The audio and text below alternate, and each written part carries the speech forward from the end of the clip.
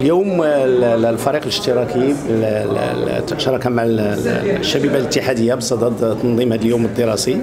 اللي كما شفتوا هو الشباب في قلب التحديات الديمقراطية والتنمويه اللقاء تيجي في واحد السياق اللي القضايا ديال الشباب كتطرح بنفسها في المجتمع ديال بلادنا خاصة القضايا المرتبطة بالبطالة ارتفاع معدل البطالة يعني القضايا المرتبطة بالشغل القضايا المرتبطة بالبحث العلمي القضايا المرتبطة بالتعليم القضايا المرتبطة بالصحة.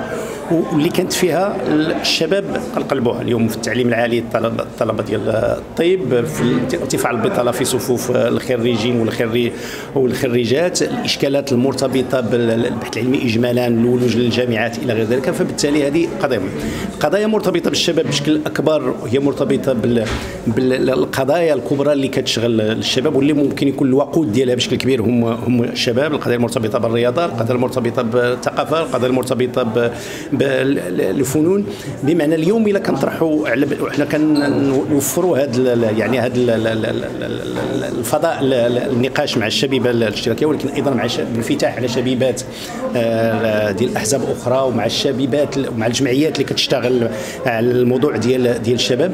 فهو باش نلحقوا واحد السلسلة اللي كنعتقدوا بأن بحال توقفات شوية. يعني في 2011 آه، أثناء دستور آه، ديال 2011 كان قلب كل المذكرات اللي جات اللي أنا ايدين كانت كتحث على الشباب وإعطاء الفرصة للشباب في كل المجالات. اليوم بعد مسافة ديال 13 سنة تقريبا على على الدستور لاحظنا بحال إلا خفت الصوت ديال أهمية إعطاء الشباب وما ما, ما, ما نجحناش في ال 15 سنة أن تكون عندنا سياسات حقيقية موجهة للشباب اللي تعطي أجوبة على على الموضوع.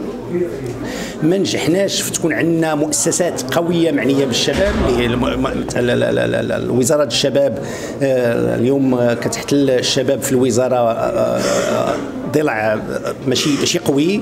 المؤسسة ديال الشباب والعمل الجمعوي اللي كان المفروض انها المؤسسة الدستورية تخرج الوجود ما خرجتش الوجود هذا كيعطينا اجمالا واحد التذبذب نوعا ما لأن السياسة العمومية الموجهة للشباب مازال ما ما روح المكان. فبالتالي اليوم الوقوف عند عند الموضوع اليوم وبهذا الزخم اللي كتشوفوه وأنا بالنسبة لي الحضور بهذا الكم كيف فوق 300 شاب يحضروا اللقاء من هذا النوع في قلب البرلمان هو مرة أخرى إعادة هذا الصوت بأننا حنا في حاجة لهذه القضايا الشباب ترجع للنقاش وكنقول حنا فتحنا النقاش وماشي نقفلوه آه، ابرز آه، عنوان كاين في داخل المحاور اللي كتناقش اليوم القضايا الجديده ديال الشباب والذكاء الصناعي يعني اليوم الكل مقبل على ما يحدث في العالم اليوم وحنا نوعا ما رهائن ديال ما التطورات التقنيه والتكنولوجيه شنو الاجوبه اللي غتكون عندنا الموضوع كما قلت سابقا حنا مقبلين على تنظيم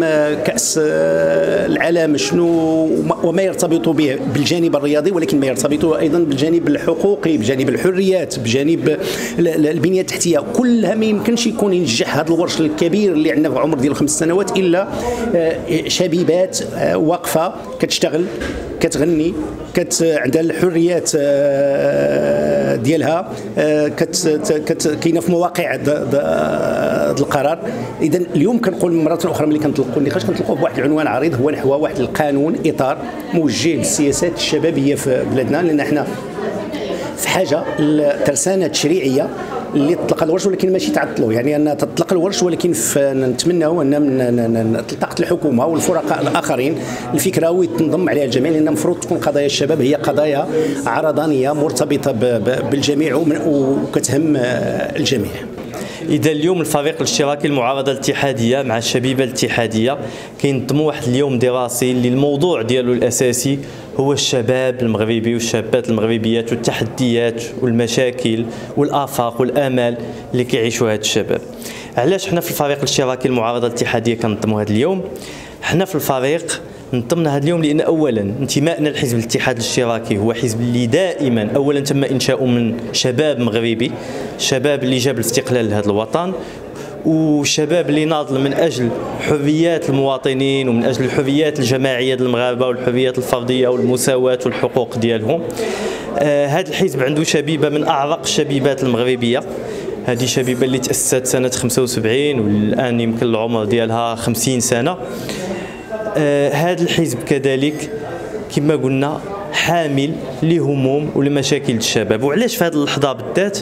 لأن للأسف في زمن حكومة عزيزة خنوش حكومة التجمع الوطني للأحرار وحلفائه أصبح الشباب أكثر تضررا مما سبق ونلاحظ أنه لا توجد لحد الآن أي سياسة مندمجة ومتناسقة موجهه للشباب كنلاحظوا اللخبطه اللي كيعيشها قطاع التعليم والتكوين خاصة التعليم العالي.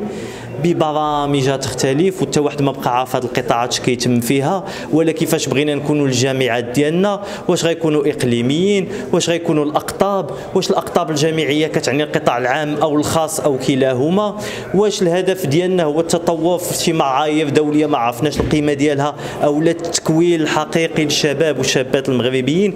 هذا نموذج. نفس الشيء في المجال الاستثمار وكانت برامج للأسف محبطة تم توجيهها للشباب يمكن نذكروا برنامج فرصة وكلنا كيعرف المآسي اللي كيعيشوها الشباب اليوم مع هذه البرامج واللي مازال للأسف مازال غادي نكتشفوها. في مختلف المجالات. كنلاحظوا بأن ما يمكن أن يعتبر كبرامج موجهة للشباب هي اليوم للأسف في زمن هذه الحكومة برامج فاشلة. وللأسف ما كاينش الإدراك لهذا الفشل وما كاينش النية في التوجه بصدق لهذا الشباب ببرامج حقيقية ومصارحتهم أحيانا بالمشاكل اللي كاينة.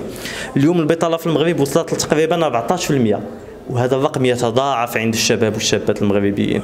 اليوم الفقر في المغرب ارتفع بأكثر من نقطة فاصلة اثنين وهذا الرقم يتضاعف عند الشابات والشباب المغربيين. فلهذه الأسباب في الفريق الاشتراكي كنعتبروا بأن إحنا بحاجة لقانون إطاري للشباب. يلزم هذه الحكومة والحكومات اللي غتبعها في المستقبل أن سياساتها تجاه الشباب اولا أن يتم إعدادها أن يتم تمويلها وأن تكون هناك الحد الأدنى من الالتقائيه بين هذه السياسات وتكون عندنا آليات ديال التقييم ديال الآثار سياساتنا العمومية عموما على هذه الفئة اللي هي الشباب المغربي. ماشي حيت بغينا نديروا فيه الخير أو الإحسان بل على العكس لأن لا تقدم ولا تطور بدون شباب واعي. مكون ومدمج بشكل قوي في التنمية وبالعكس يمكن الشباب هو اللي كيدفع لأي تغير عبر الأزمنة وعبر التاريخ.